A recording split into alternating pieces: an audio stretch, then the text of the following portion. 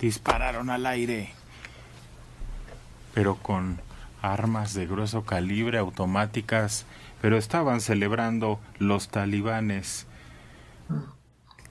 que ya se fue el último de los gringos de su tierra. Partió el último avión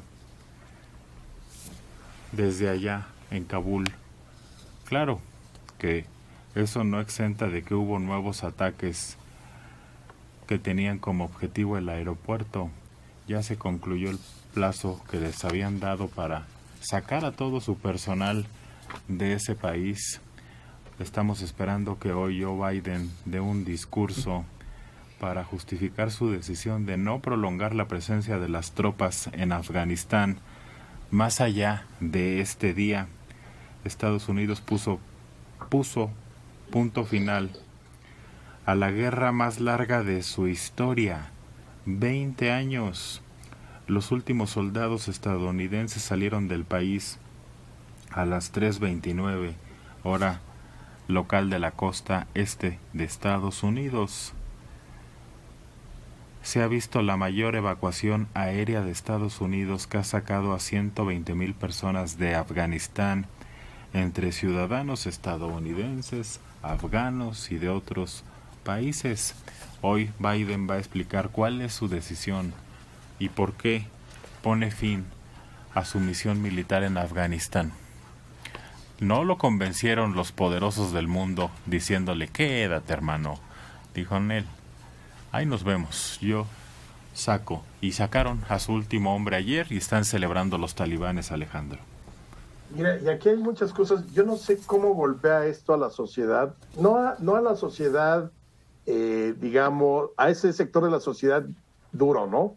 En donde sí piensan que ellos tienen la misión de llevar la democracia a todos los lugares del mundo, que ellos son el país que debe de ir a la vanguardia y que entonces a sus ojos siempre está justificado la intervención o eh, meterse para derrocar a un gobierno que va en contra de sus principios y demás. Me refiero a la otra parte de la sociedad, son 20 años. O sea, 20 años de gente, de soldados norteamericanos, muchos murieron por allá. No sé cuál sea la cifra ya total, digamos, final de esos 20 años, pero al final les ha de quedar una desazón eh, un, un, ánimo totalmente alicaído porque ¿de qué sirvió estar con tropas allá 20 años? Es como cuando estás construyendo un castillo de arena y llega la ola. Yo creo que sí, sí. Y más porque la idea norteamericana que empezó con lo de eh, primero Saddam Hussein, eh, que fueron por Obama, digo, por Osama Bin Laden, todo, toda esta construcción de la narrativa norteamericana en el, en el Medio Oriente, eh, pues tenía quizá por momentos esta idea quizá de venganza ahora que se van a cumplir 20 años de, de lo de las Torres Gemelas, pero al final muchos norteamericanos perdieron la vida ya. Y dinero, mucho dinero, Mario. Eh, es eh, notable cómo Estados Unidos pues mantiene tropas en Japón, en Corea, y en Alemania a más de 70 años que se necesitaron, 80 años que se necesitaron. Eh, claro, no están en combate, no sufren bajas, esa es la, la diferencia. Y están ahí para mantener una, dar una impresión y sobre todo modificar el equilibrio militar en la zona.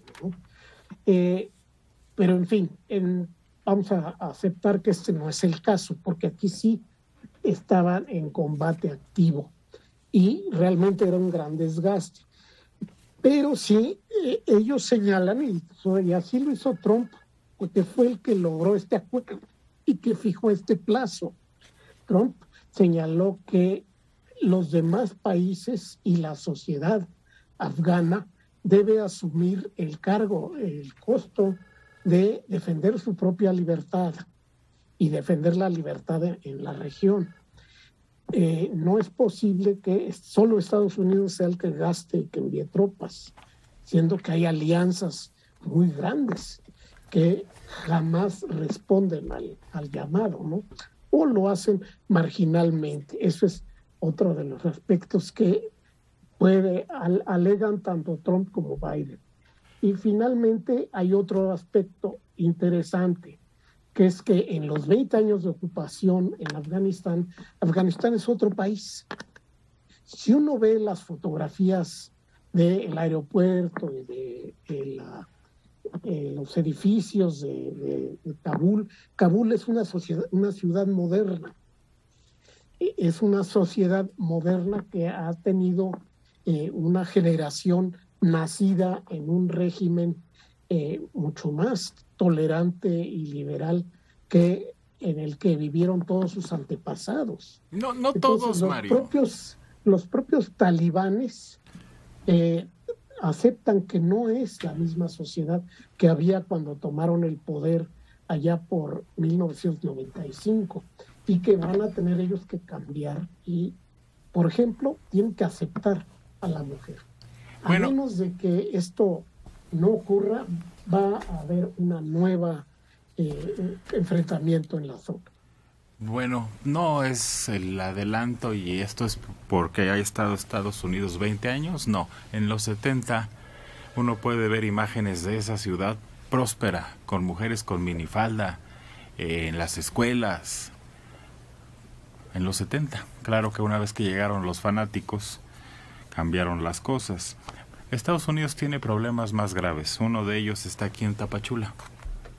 No han podido detener va una caravana de migrantes. Ayer detuvieron a cientos. Los subieron a camionetas y los regresaron. Pero no quedan todavía vivos, según los informes, más o menos 300 personas que lograron escapar, que no fueron detenidas. Es la tercera vez que intentan detener esta caravana y no lo han logrado. Son gente que quiere llegar a los Estados Unidos.